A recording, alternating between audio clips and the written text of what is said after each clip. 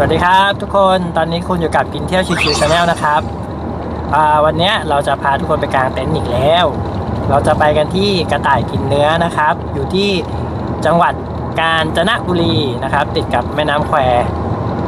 เดี๋ยวยังไงเราไปดูบรรยากาศกันนะครับ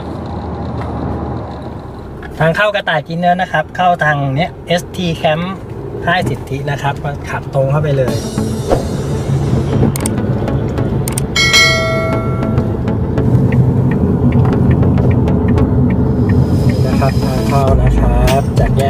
แ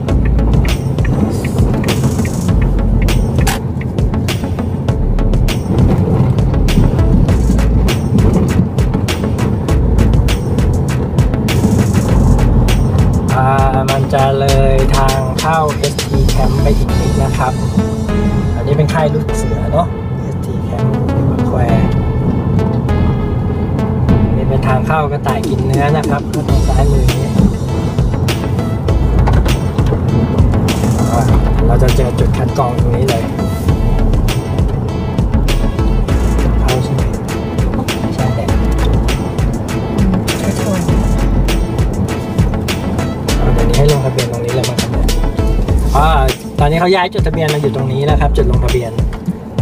อ๋อเดี๋ยวเราเข้าไปลงทะเบียนกันด้านในนะครับลงลงได้ได้เดี๋ยวผมจอดหน้าคันดำนะได้ครับโอเคคโอรับเคครับโอเคครับถึงแล้วเดี๋ยวเราลงไปลงทะเบียนกันนะครับ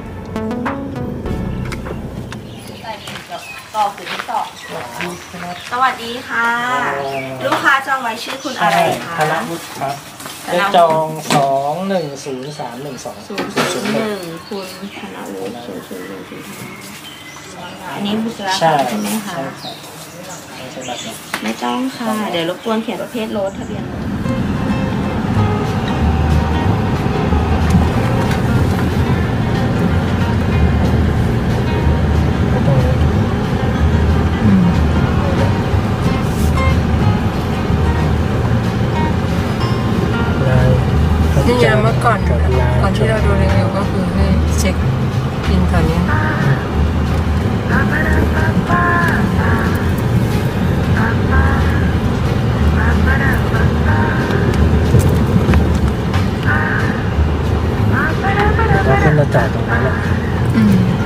ของลงแล้วก็ มันมันมีลานจอดตรงนั้น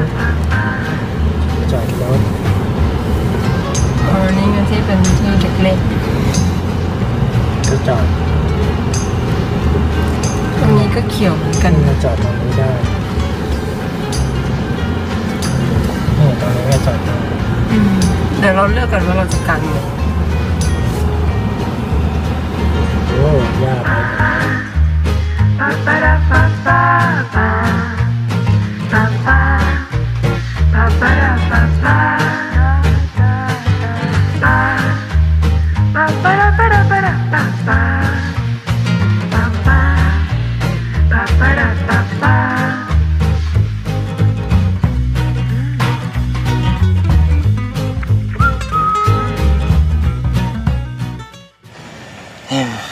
เหนื่อยครับผม ตอนนี้ก็กางเต็นท์กางขาไปเลยเสร็จเรียบร้อยแล้วเราสร้างอาณาจักรของเราเรียบร้อยแล้วนะครับ เดี๋ยวขอนั่งพักก่อนเหนื่อยมาก ร้อนมันเหมือนจะไม่ร้อนแต่ก็ร้อนเมืองการจะเป็นอารมณ์เนี้ยครับกลางวันก็จะร้อนหน่อยแต่ตกกลางคืนก็น่าจะเย็นกว่านี้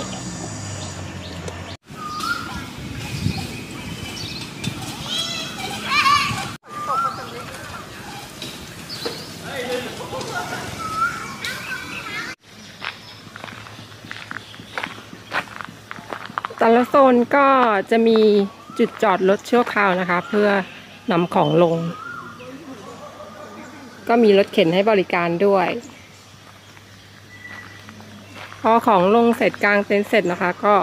เอารถไปจอดที่จุดที่เขามีให้จอด เดี๋ยวจะพาไปดูนะคะ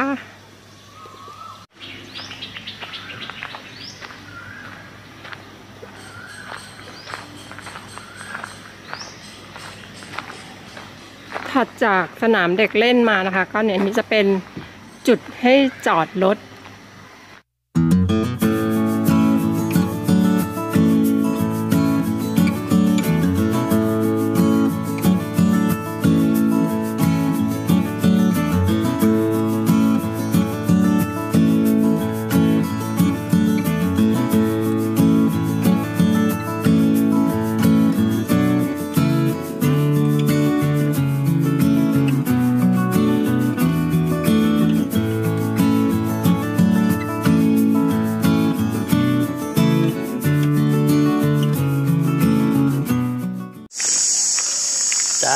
ดที่เรากางเต็นท์นะครับ ก็คือเรากางที่ลานกระต่ายนะครับ ก็เดิน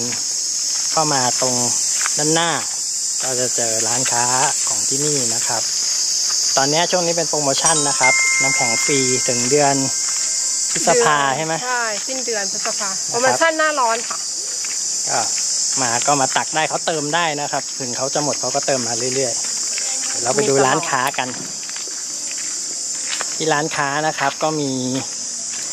น้ำมีอาหารขายนะครับ ก็ใครยังไม่ได้เตรียมอะไรมาก็มาดูที่นี่ได้นะครับ มาอุดหนุนเขา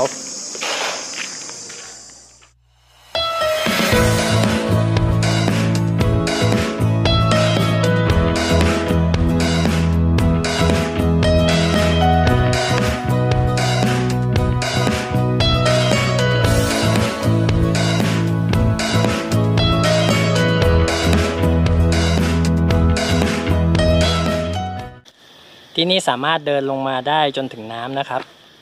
ก็มีทางเดินลงมาให้อยู่ แต่ดูแล้วไม่เหมาะกับการเล่น เพราะมันเป็นแม่น้ำแควน้ำมันจะแรงครับ แต่ถ้าลงมาแย่ๆเอาขาแย่น้ำบ้างอะไรบ้าง ก็น่าจะได้อยู่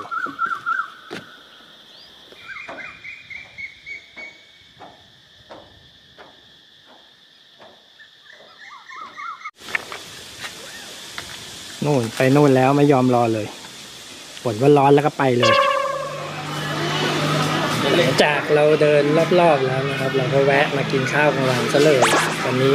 ยังไงวันนี้เราก็ไม่ทำเดี๋ยวเราก็สั่งกินมาก่อนเดี๋ยวเย็นเราค่อยว่ากันเรื่องการทำกิน ที่นี่ก็สะดวกดีครับ ก็มีบริการหลายๆอย่างที่นี่ก็มีทั้งเช่าพัดลมสายไฟเนาะอะไรพวกนี้ก็มีขาย อุปกรณ์พวกเครื่องปรุงอะไรก็มีนะครับที่นี่ถ้าใครขาดเหลืออะไรก็ขึ้นมาดูที่ร้านอาหารได้ Rabbit Market ใช่ไหมใช่ใช่มาแล้วครับมื้อกลางวันของเราของเราก็สั่งไก่กระเทียมไข่ดาวแก้วก็เป็นกะเพราหมูสับไข่ดาว ง่ายดีครับสบายอาหารที่นี่ก็ราคาไม่แพงนะครับก็ถือว่า เคยเลยราคากับรสชาติปริมาณด้วยอร่อยอยู่ เรียบร้อยครับ กินข้าวเรียบร้อยแล้ว อันนี้กำลังเดินกลับไปพักผ่อนที่เต็นท์การมาแคมปิ้งก็ประมาณนี้ครับ กินแล้วก็นั่งชิวๆกันไป ที่นี่ก็ถ้ามีเด็กๆก็มีกิจกรรมมีลานของเล่นให้เด็กเล่นนะครับ ก็สบายหน่อย แต่ว่าเรื่องอย่างที่บอกว่าเรื่องเล่นน้ำก็น่าจะยาก เพราะว่ามันน้ำมันแรง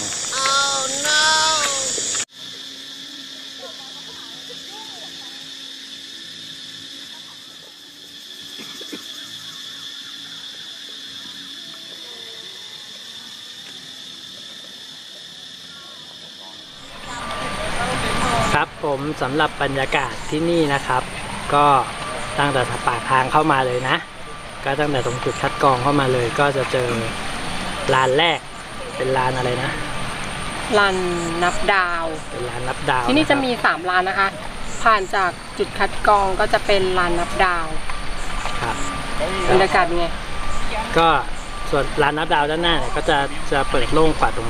ที่เรากางเต็นท์อยู่ตรงนี้นะครับ เพราะว่าด้านหน้าเนี่ยมันพอเข้ามามันก็จะลานนับดาวเนี่ยจะติด ริติมดน้ำน้ำเลยอืมนะครับ แล้วก็มีทางที่ลงไปเล่นน้ำได้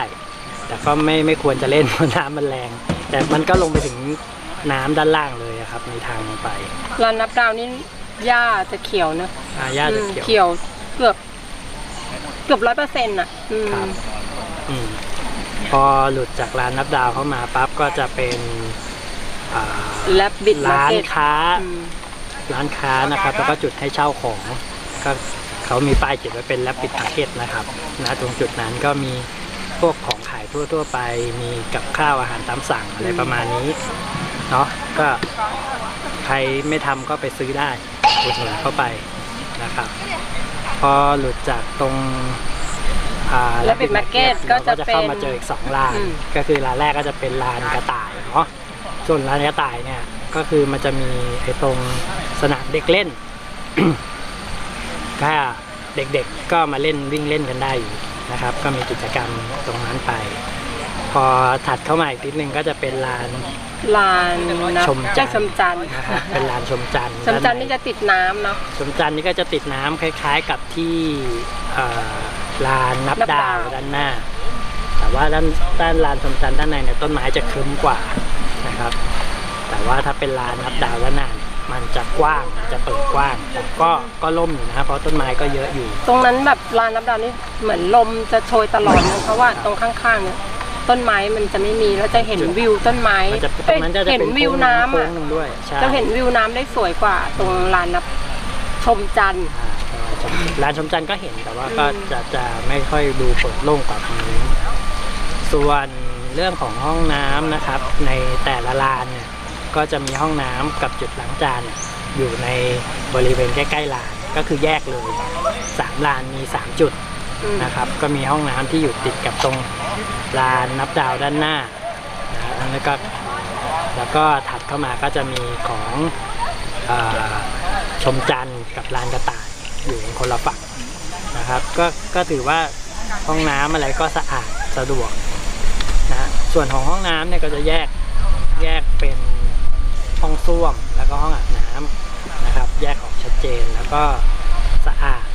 นะครับบอกเลยว่าสะอาดมากอืมถ้าใครซีเรียสเรื่องห้องน้ำบอกเลยว่าที่นี่สะอาด อืมเอสะอาดอมากครับที่ใช่นี่แล้วอีกอย่างหนึ่งแก้วชอบห้องน้ำที่นี่เพราะอะไรปะ มันมีกระจกอะกระจกบานใหญ่แล้วก็ใสด้วย แก้วเป็นนกหัวหยกชอบก็ส่องคือกเวระจลากเราดู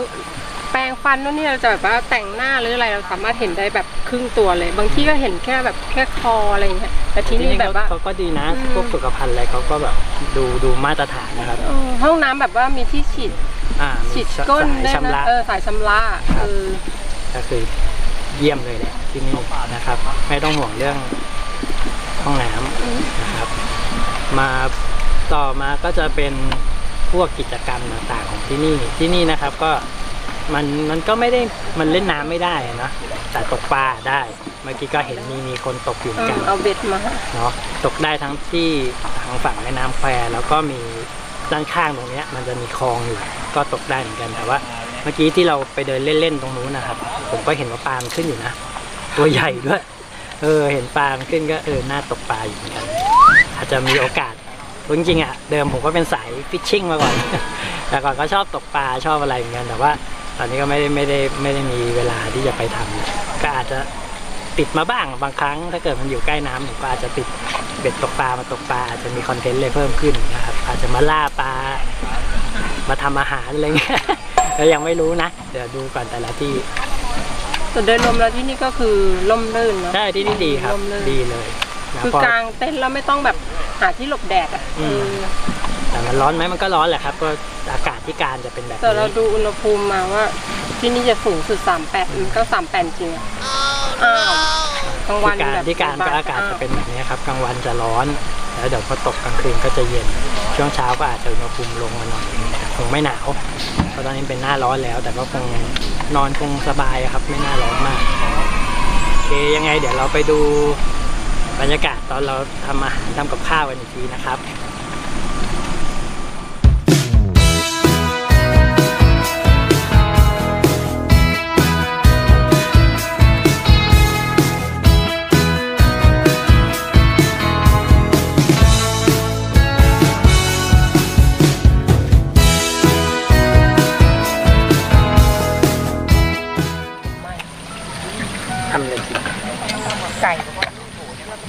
อดโอ้โหรสตีเป็นกร่อน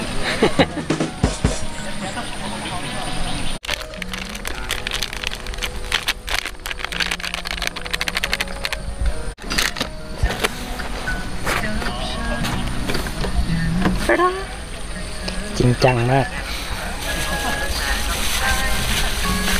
จริงจังเรื่องกินต้องจริงจัง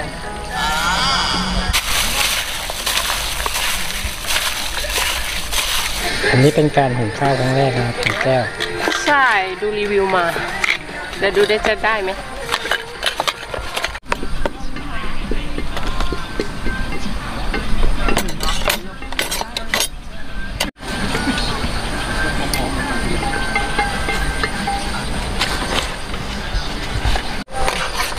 ใกล้เคียงใกล้เคียงเฮ้ย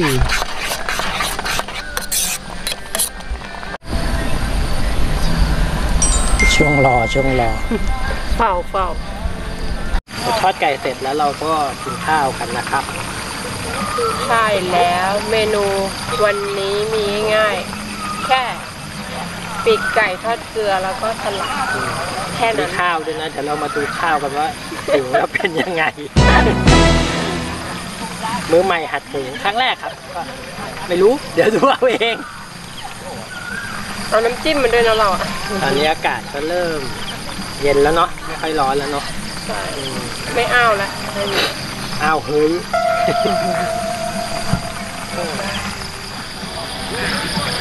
แกได้กินยังเนี่ยใกล้แล้วที่แก๊สหมดนะครับ เกือบไปแล้ว ยิ่งไปซื้อแก๊สมาดีนะที่นี่ก็มีแก๊สกระป๋องมีถ่านมีอะไร ใครฉุกเฉินก็ยังมีให้ซื้อได้อยู่นะครับ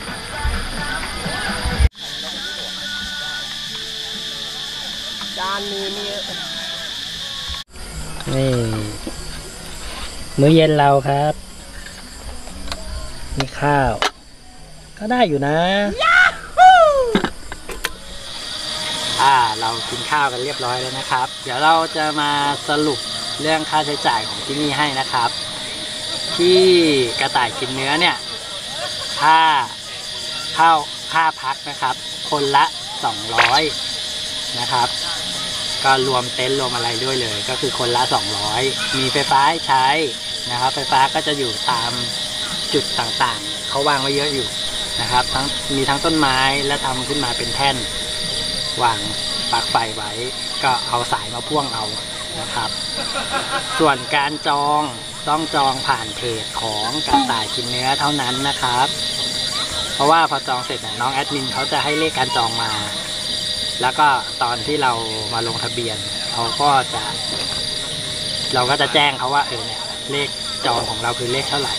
แต่หลังจากที่เราลงทะเบียนแล้วเขาก็จะให้ตัวนี้มา ก็คือป้ายป้ายนะครับก็มีป้ายบอกว่ารายละเอียดอะไรบ้างก็วันที่เข้าพักคนที่เท่าไหร่ จำนวนกี่คืน แล้วก็มากันกี่คนนะคะ ครับมีเด็กอายุต่ำกว่าเท่านี้เท่านี้ แล้วก็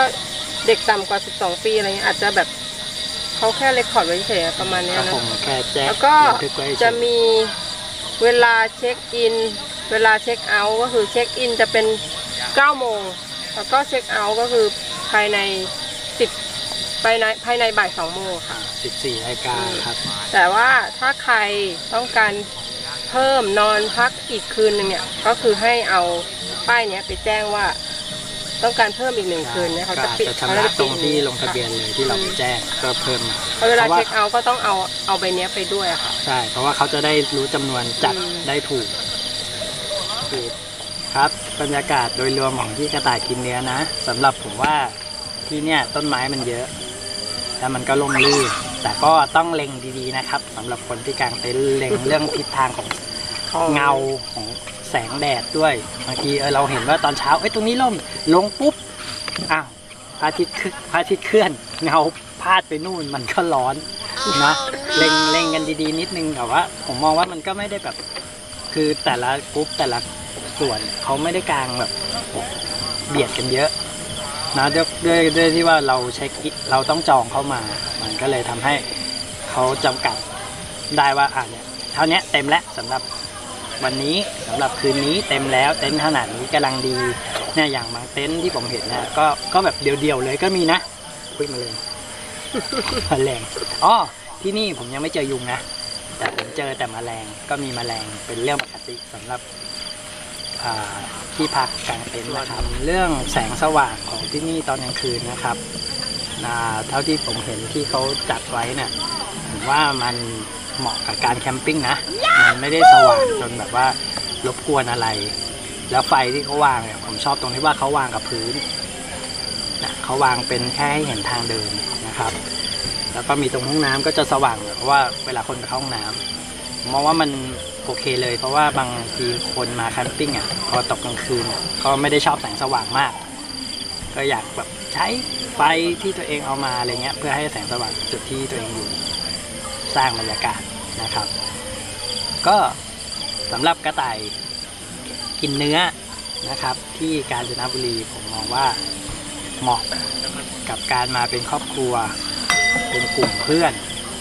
นะครับ มานั่งชิลๆกันมา มีกิจกรรมแคมปิ้งนะอย่างที่ผมบอกครอบครัวก็เด็กๆก็สามารถไปเล่นเครื่องเล่นตรงนี้ได้เนาะมีกิจกรรมให้เด็กๆเล่นได้ ก็เดี๋ยวเราก็นอนกันแล้วนะครับเนาะนอนแล้วก็ไม่ได้ทำอะไรเดี๋ยวเราก็ขอตัวไปพักผ่อนก่อนเนาะแล้วเดี๋ยวเราเจอกันอีกทีตอนเช้ากุณไนท์นะครับ เราเจอกันตอนเช้าครับ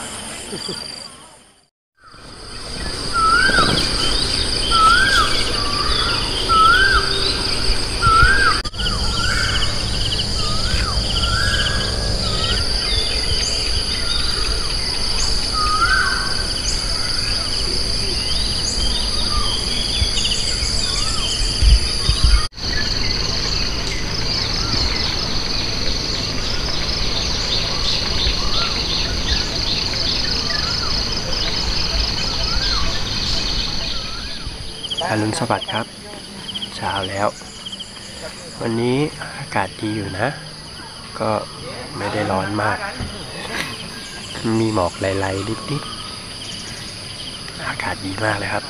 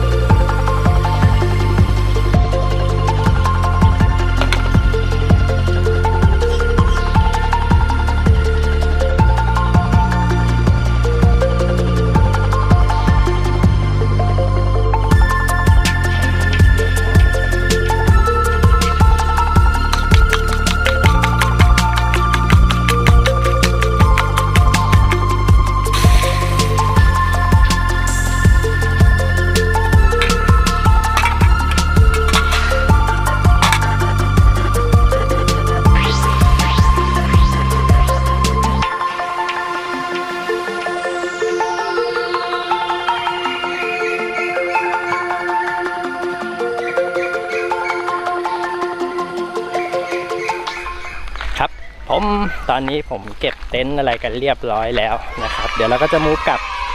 บ้านกันแล้วยังไงใครที่ชอบนะครับ ที่กางเต็นท์แบบร่มรื่นร่มรื่นเหมือนที่กระต่ายกินเนื้อก็ตามมาได้นะครับเดี๋ยวผมปัก location ไว้ให้ยังไงก็ฝากกดไลค์ กดแชร์ กด subscribe กดกระดิ่งกิ้งๆ ให้ผมด้วยนะครับ เพื่อจะได้ติดตามคลิปต่อๆไปของพวกเราได้ แล้วเจอกันใหม่ครั้งหน้านะครับ ว่าเราจะไปกางเต็นท์ที่ไหนกัน บ๊ายบาย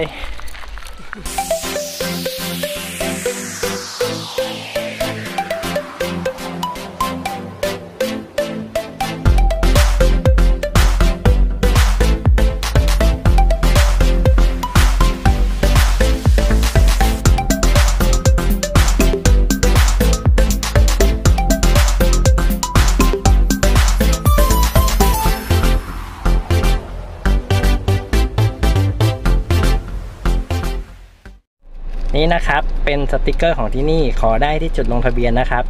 ที่สำคัญมันมีที่อุดหูด้วยนะ เสียงดังก็อุดหูนอนเลยนะครับ